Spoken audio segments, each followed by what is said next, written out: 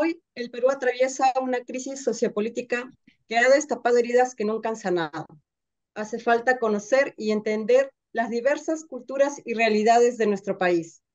Como agentes culturales, dinamizamos el sector cultural en nuestros lugares de origen y en otras regiones del Perú. Ser ganadoras de la beca y acceder a los programas de formación nos brinda un mejor panorama de la realidad peruana y nos ayuda a valorar las artes y las culturas como herramientas transformadoras del desarrollo personal y social. Esta oportunidad es un reconocimiento local y nacional que nos permite creer en nosotras mismas y fortalecer nuestras competencias y capacidades en la labor cultural que realizamos.